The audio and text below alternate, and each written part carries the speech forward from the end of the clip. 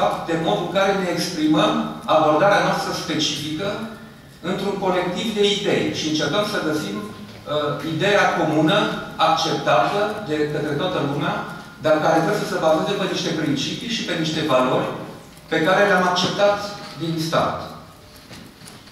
Și uh, faptul că le-am uh, acceptat din start ne dă și nouă responsabilitate în a le respecta și eventual în a ne aduce contribuția să le facem să evolueze atunci când considerăm că anumite lucruri nu sunt suficient de democratice sau, sau sunt prea restrictive.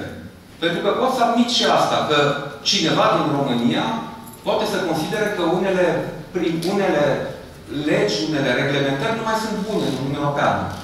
Dar decât să te pui cu mitraliera pe ele într-un discurs naționalist, uh, populist, e mai bine să-ți folosești prezența în interiorul structurii respective și să le faci să evolueze.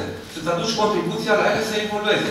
Discutând cu alți uh, parteneri, cu uh, alte state membre, în cadrul altor instituții, spunându-ți părerea și aducându-ți contribuția să le faci să evolueze. Mi se pare modalitatea cea mai bună de a-ți manifesta dinamismul și de a-ți manifesta uh, încrederea în sine, ca și român, dar în interiorul unei uniuni în care ai vrut să intri.